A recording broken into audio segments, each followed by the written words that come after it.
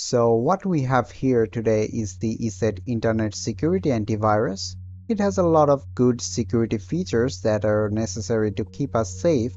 But what I'm going to focus on today is the Internet Protection feature. It offers web access protection, anti-phishing protection, email client protection, and anti-spam protection. These are basically everything that we need but the question is, is it good enough to protect us from all these type of threats? So today, I will try to get the answer by doing a test. Is it is up to date.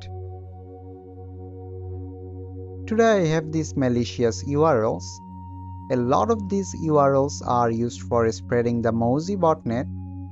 I also have some compromised URLs which are mainly used for spreading the Qbot malware